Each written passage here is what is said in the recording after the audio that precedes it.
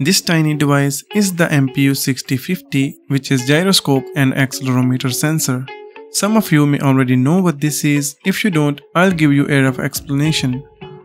Accelerometer measure linear acceleration in three direction x, y, z indicating changes in speed. Gyroscope measure angular velocity capturing rotational motion around a specific axis.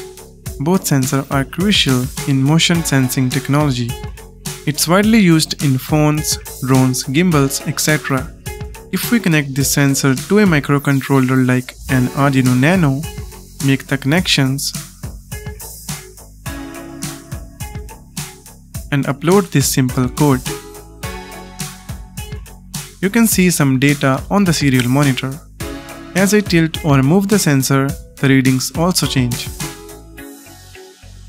Now here we have an ultrasonic sensor. This is the most commonly used sensor in Arduino projects.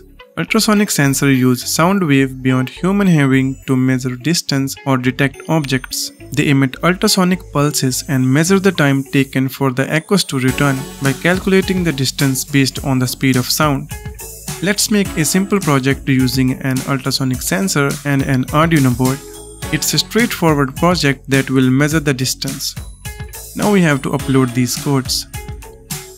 If we run the serial monitor, you can see it's working. As I move my hand closer or further from the sensor, it measures the distance. Pretty interesting, right? Here we have both of these sensors along with the display and Arduino Nano. If we combine all of these, we can make something like this. It looks complicated but let me explain. I plan to make a tool like a digital spirit level or bubble level. It will also measure the distance. Let's see if we succeed or not. So we begin working on the codes. By the way, this is my brother. He's the one who works on the code and brings my project to life. So these are the codes that we came up with. Let's just upload them. Now it's time to power this thing up and see if it's actually work. As you can see, it's working. However, I'm not sure if it's accurate or not. This tiny button right here is for changing the modes to distance and horizontal spirit level. Anyway, we can't use this project like this, we have to make some kind of structure to make it more convenient. That can be achieved by a custom PCB board. So I start designing the schematics and PCB board. After completing the design, I created the Gerber file and ordered the PCB from JLC PCB. JLC PCB is a highly trusted and popular PCB manufacturer. They provide PCB prototyping services at very low cost. Besides PCBs, they also offer PCB assembly, SMT stencils, 3D printing and CNC machining. Just upload your Gerber file and order your PCB of any color mask for just $2. My package arrived within 7 days and I used the white color mask. I think it looks much better than green or any other color. It's just my opinion or choice. The quality of PCB is top notch as always. Now let's gather all the parts and assemble the PCB board. A big shout out to DF Robot for providing me all the necessary components for this project. You can find all the links in the description so be sure to check them out. Now let's get started.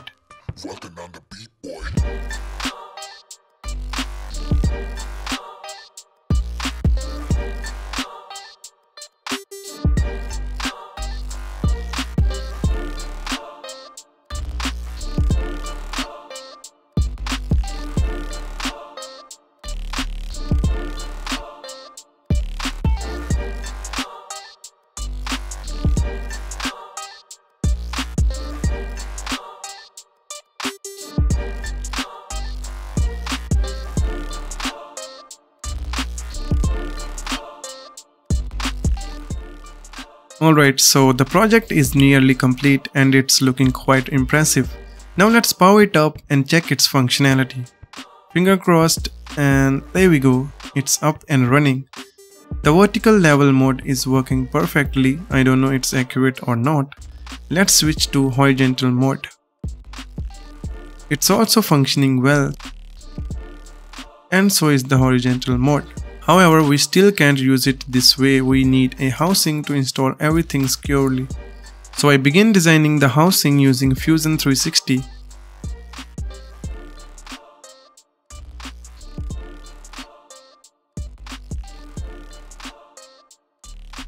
So here's my design, not too shabby. Anyway, let's 3D print the design using my 3D printer.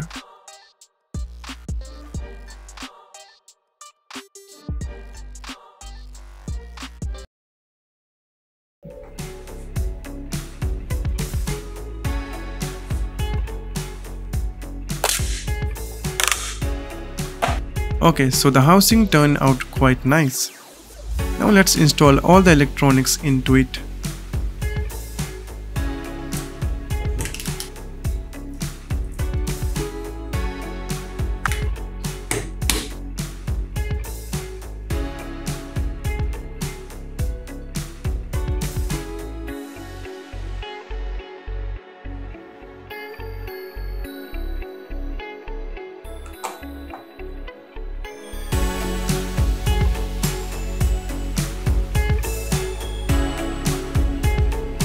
Finally guys, the project is complete and I'm quite pleased with how it turned out. It looks pretty interesting, feels like nothing spirit level.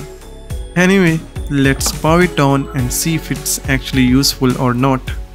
Firstly, we need to calibrate the device. So place it on a flat surface such as this table.